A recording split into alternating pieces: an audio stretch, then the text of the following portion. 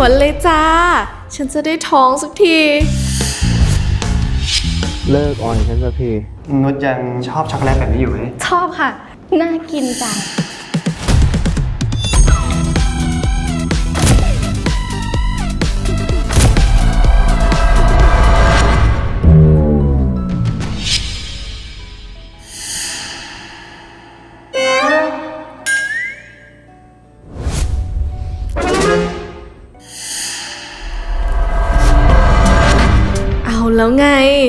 ทนไม่ไหวแล้วสินะ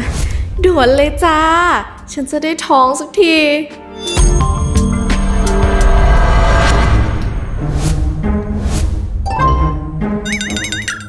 ฉันรู้ทันเธอหรอกนะใหญ่โจเลพูดเรื่องอะไรหรอ เลิกอ่อยฉันสักที ยังไงมันก็ไม่มีวันเกิดขึ้นหรอก นี่นาย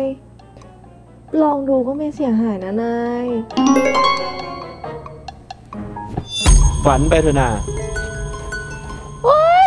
นี่นายมาช่วยฉันก่อนทำอะไรเนี่ยทำอะไรฉันเนี่ย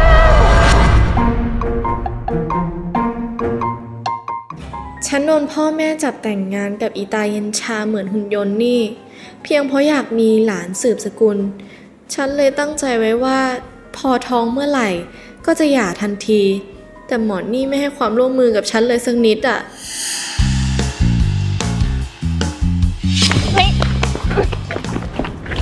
ทำอะไรของเธอเนี่ย จะอะไรล่ะ ก็เดินจับมือกันหนุนกันหนิงกันเข้าบริษัทไง ไร้สาระทำไปเพื่ออะไร ปล่อย ไม่ปล่อย ปล่อย นุชใช่นุชหรือเปล่าครับ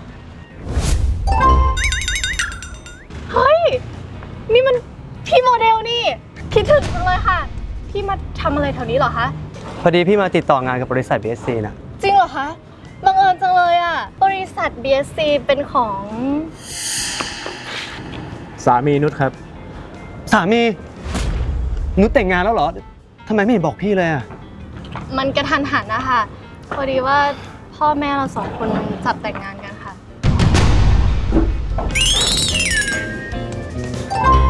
พี่โมเดลคะเราเข้าไปข้างในกันดีกว่าค่ะ เดี๋ยวนุชพาไปห้องประชุม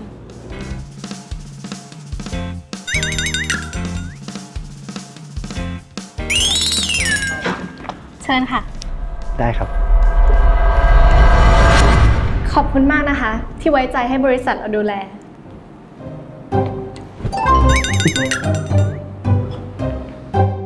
ขอบคุณนะครับที่เลือกบริษัทเรา แต่ถึงคุณโมเดลจะไม่เลือกบริษัทพวกเรา ก็มีอีกหลายบริษัทที่อยากร่วมงานกับพวกเราอยู่แล้ว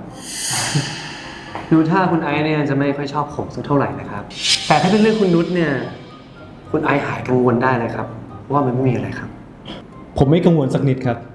ราะว่าผมไม่ได้คิดอะไรอยู่แล้ว พวกเราสองคนแต่งงาน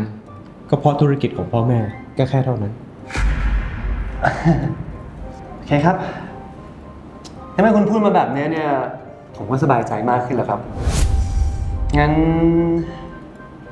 นุชเย็นนี้ไปดินเนอร์กับพี่ไหม หรือว่าจะไปร้านเดิมที่เราเคยไปกันตอนสมัยเรียนก็ได้นะ ก็ดีค่ะ จะได้คุยเรื่องเก่าๆของเราด้วย น่าจะสนุกดี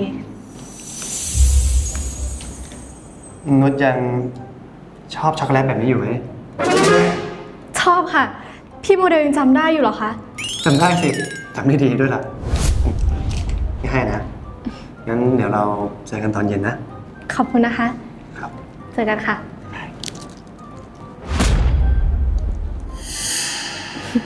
ไม่ได้กินนานแล้วอะเนี่ย หืมอุ๊ยน่ากินจัง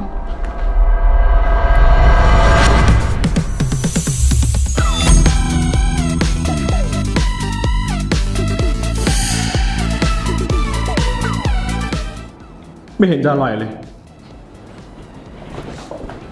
แต่บ้าเอ้ยเป็นอะไรของเขาเนี่ย บรรยากาศก็ดีนึกถึงตอนสมัยเรียนเลยนะครับ ใช่ค่ะ แต่จะดีกว่านี้ถ้าเรามากันแค่สองคน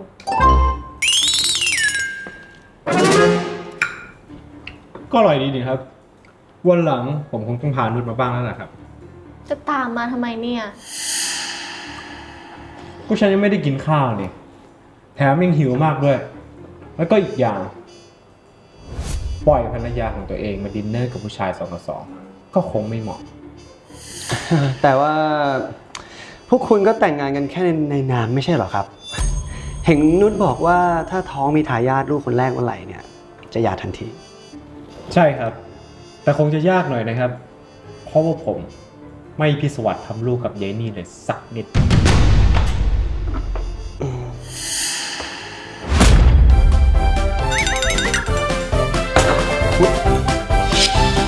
โหเอ้อนุชนี่ คุณดื่มเก่งขนาดนี้เลยเหรอครับเนี่ย ก็ไม่เห็นจะยากนี่ค่ะ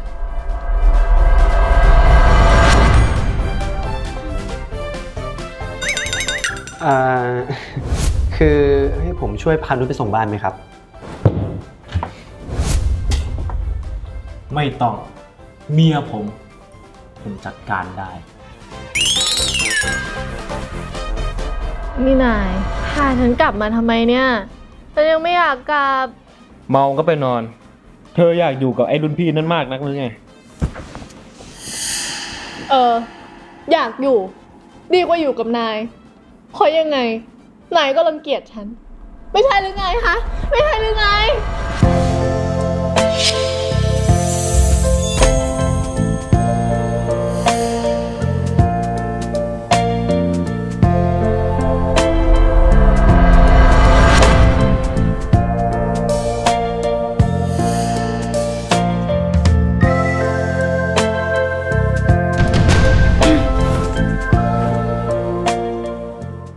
มื่อคืนเรา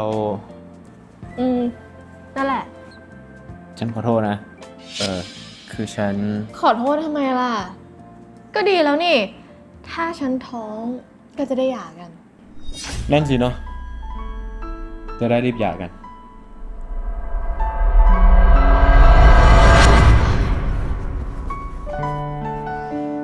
วันนี้ฉันไม่เข้าบริษัทนะ เทีย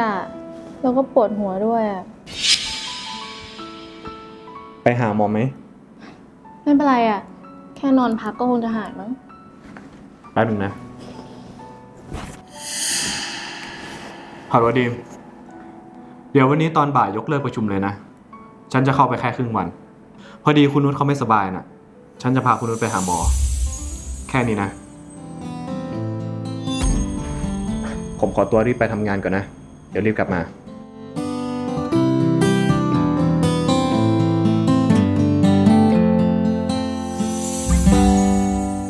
คืนนั้น หมอนั่นก็ดีกับเราจนประหลาด แต่ช่างเถอะ คงรู้สึกผิดแล้วมั้ง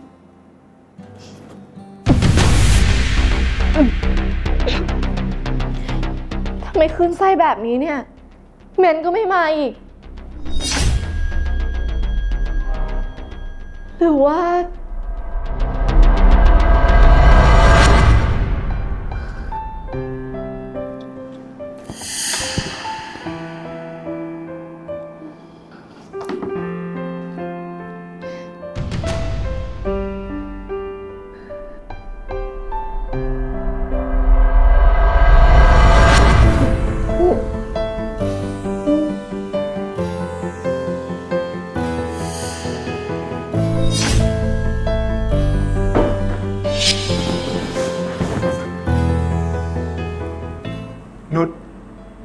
อย่าไปกับเขาเลยนะ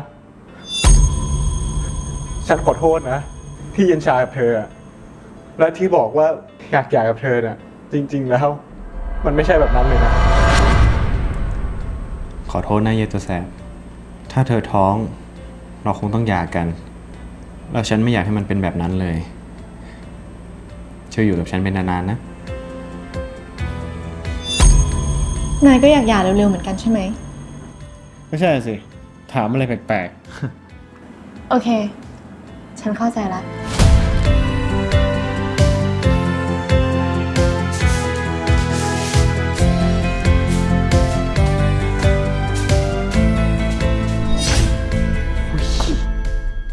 ไอ้เอ้ย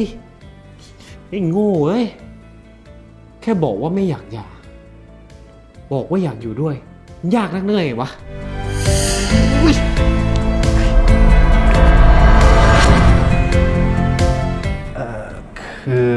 ผมขอร้องเลยครับ อย่าเอาลูกกับเมียผมไปได้ไหมครับ ผมรักนุชผมจะดูแลนุชเองครับ หยุดพอได้แล้ว ลุกขึ้นได้แล้ว เดี๋ยวเข่าด้านหมด นุชไม่ได้ไปไหนทั้งนั้นแหละ อ้าวไหนเธอบอกว่า เธอท้องกับฉันเมื่อไหร่ แล้วก็จะหย่ากับฉันนี่ นี่มันอะไรกันอะฉันงงไปหมดแล้ว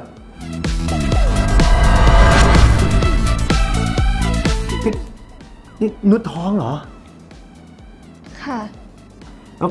แบบนี้คือต้องหย่าใช่ไหมนุชนุชไม่ต้องเป็นห่วงกังวลไปเลยนะ พี่ยังรู้สึกกับนุชเหมือนเดิม พี่ไม่แคร์ด้วยซ้ำอะว่า นุชจะหย่าหรือว่าผ่านการมีลูกมาแล้ว คือว่า นุชรักไอซ์แล้วใช่ไหม แต่เอาเถอะ เพราะว่าพี่มองออกมาตั้งนานแล้วว่า เราสองคนรักกันอะ ยินดีด้วยนะ ขอบคุณนะพี่โมเดล แต่นุชไม่รู้จะบอกคุณไอซ์เขายังไง ว่านุชไม่อยากหย่านุชไม่อยากเป็นฝ่ายที่รักเขาข้างเดียวอะไม่หรอก ผู้ชายด้วยกันเขาดูออกพี่ว่าไอซ์ก็รักนุชมาก ๆ เหมือนกันนั่นแหละ อกหักรอบสองจากผู้หญิงคนเดิมเนี่ยนะ พี่ขอกอด เป็นครั้งสุดท้ายได้ไหม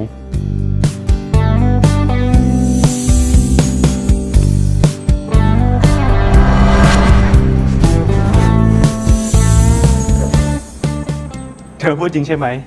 เธอก็ไม่อยากหย่ากับฉันใช่ปะอืมยินดีด้วยนะครับ ทั้งสองคนเลย ขอให้รักกันนานๆแล้วก็อย่าทะเลาะกันอีกนะครับ ขอให้ครอบครัวมีแต่ความสุขสันต์นะครับคุณไอซ์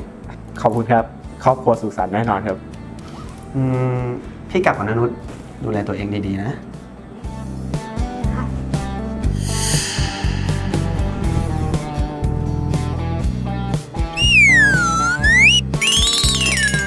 โอ้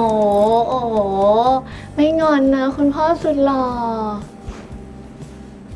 ไม่รู้ล่ะ ยังไงวันเนี้ย คุณแม่ต้องโดนทำโทษทะลึ่ง ท้องอยู่นะ ก็ไปต่อแขนต่อขาให้เบบีไง